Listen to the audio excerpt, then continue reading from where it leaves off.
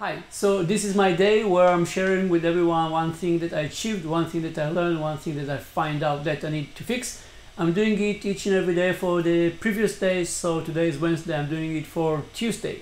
Achievement, I believe that right now I can depict very clearly in three sentences what galaxies are doing and what is the value that we're providing to company. Took a year to reach it. So definitely an achievement.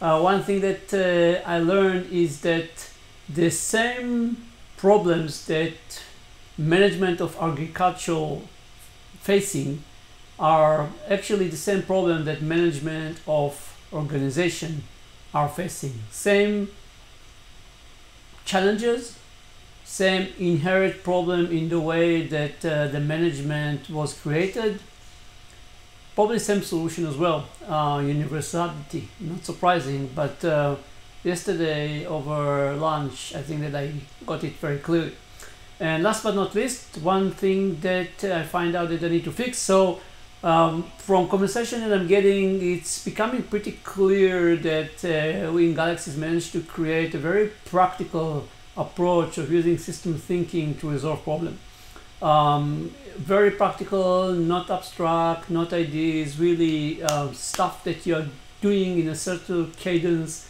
in certain steps that enable you to see problems where other people are not seeing it and leveraging system thinking in a very comprehensive and nice way.